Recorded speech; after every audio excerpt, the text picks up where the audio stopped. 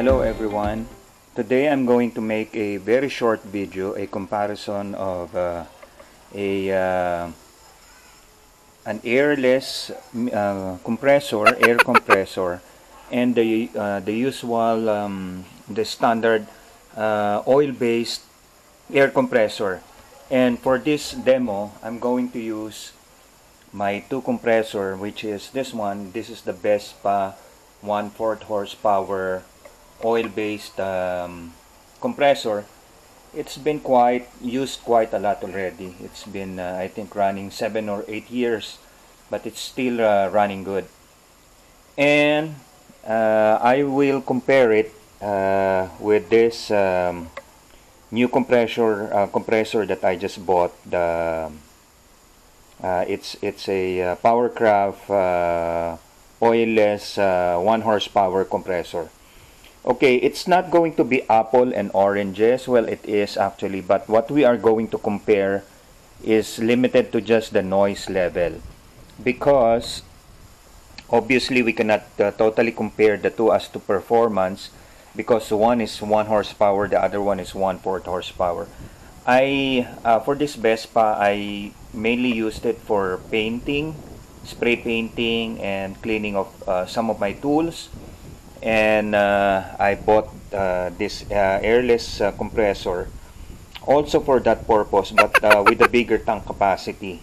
And as I am a little bit um, intrigued about what's the fuss about uh, oilless uh, air compressor. So today I hope to be able to give you the the difference between the two. Number one according to the noise level.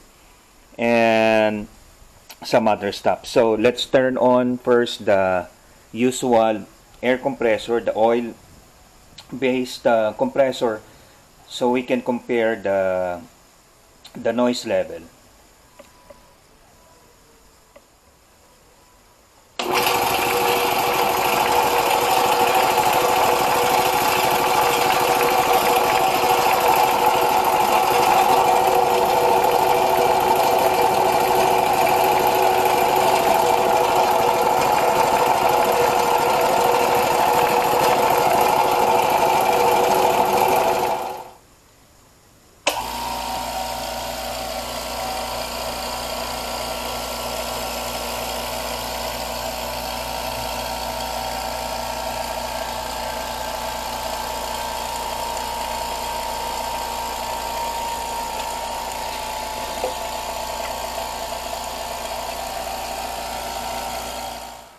Okay, so that's the difference uh, of the oil-based and the oilless um, air compressor uh, as far as the noise is concerned. So, as a recap, ito po yung aking uh, well, limited experience with it. Number one, the oilless is I think very good uh, kind of compressor especially when you're using it in an enclosed environment. Halimbawa, magpipintura kayo sa loob ng bahay, pipinturahan niyo yung wall or whatsoever hindi ho siya masyadong maingay. Which is very ideal. At least hindi masyado nakaka-stress. Uh, also, relatively speaking, mas magaang siya kaysa doon sa um, aking Vespa na oil-based. Uh, kahit po tinanggal ko yung ano, hindi kasama yung cart na ginawa ko. Kung yung ano lang, bubuhatin mo lang mismo yung, yung air compressor lang mismo versus yung doon sa oilless, mas magaang yung oilless. Uh, another um, uh, another advantage I think is that it has lesser maintenance, the oilless. Kasi wala nang oil, wala ka nang tinitignan na chine-check na oil, ano?